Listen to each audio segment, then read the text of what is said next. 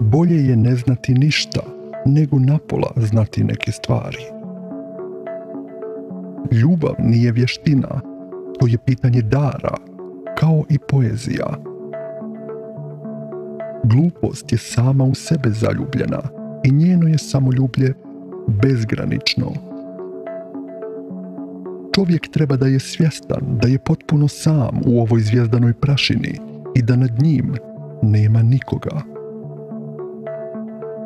Noću, u intimnom, poluglasnom razgovoru sa samim sobom, nikako ne mogu zapravo logički opravdati zašto se u posljednje vrijeme toliko uzrujavam zbog ljudske gluposti. Istina je, bio sam prilično sam, ali osamljenost još uvijek nije dokaz da čovjek nema pravo. Znamo mi vrlo dobro kako izgleda pod tuđim repom, ali bez toga njuškanja ne možemo živjeti. Nema velikih i malih naroda, nema velikih i malih jezika. Veliki i mali jezici vrijede upravo onoliko koliko iza tih jezika stoji ili u njihovo ime progovara gomila dobro naoružanih noževa. Ljudi čitaju kako hoće da čitaju, a ne kako je napisano. Ljubav prema jednome ostavlja dovoljno prostora za mržnju prema mnogim drugima. Tebi, o gluposti ljudska, udaram himnu o bubanj. Danas paseš ko krava nad grobom glupe Europe, ne umijući drugo nego mahati repom. Čovječe, sjeti se da si ravan onome pred kim se ponizuješ i ne ponizuj se. Hodaj uspravno, ne plači pred tuđim vratima, jer iza tih vrata za tebe nema nikoga. Pljusni i pljuni, ali se ne ponizuj.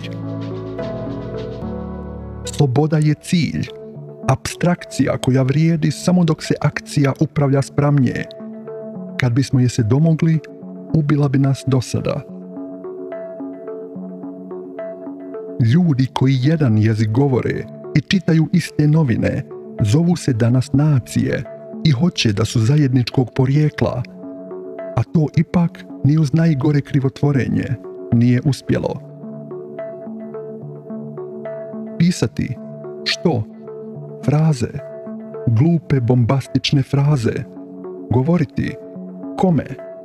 Cijelo čovječanstvo već deset tisuća godina ne radi drugo nego govori. Bog je čudesna i strašna riječ nastala od straha pred smrću. Da bi vršio valjano svoj zanat, pisac mora imati mogućnost da bude u neku ruku disident, pa čak i defetist u odnosu na državu i institucije, na naciju i autoritete. Negacija može biti oblik prihvaćanja svijeta. Sve što je javno štampano treba biti i javno kritizirano. Ljudska glupost je neizmjerna. Ja vjerujem u čistoću umjetničke spoznaje, kao u još jedinu čistoću koja nam je preostala u ovom životinstvu oko nas.